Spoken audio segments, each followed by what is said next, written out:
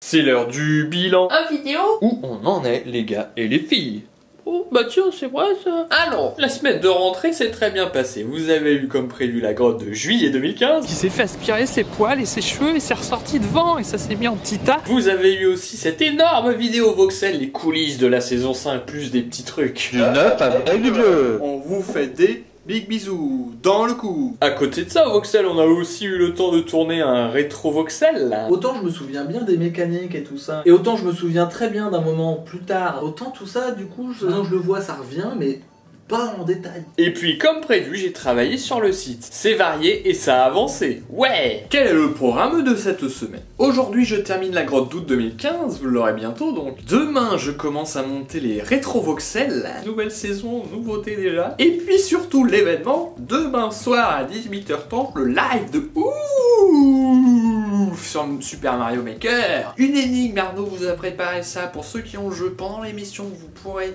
vous attaquer à ces stages et donc résoudre cette énigme. Le premier à donner la réponse gagne une clé de, du jeu Thomas Was sur Steam. Ah oui les gars, attention là, c'est sérieux là Un jeu de ouf que j'ai surkiffé, donc euh, l'idée c'est de l'offrir à quelqu'un. On essaiera de faire des stages ensemble pour voir comment le jeu fonctionne.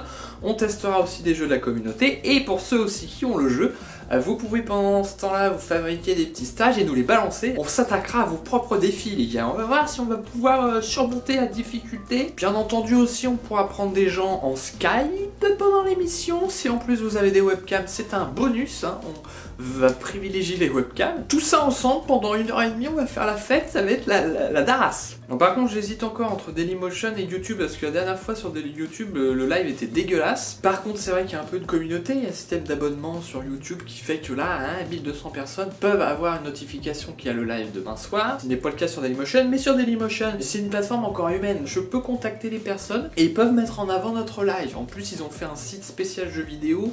Ça peut être pas mal aussi. Donc j'hésite, mais il serait temps que je me décide. Et puis le reste de la semaine, je continue à bosser sur le site. Là, j'ai deux gros morceaux à attaquer. Il y en a un, on va falloir faire du SQL, attaquer la base de données. Puis de l'autre, comment gérer les photos, nouveau système. C'est les deux gros derniers trucs. hein.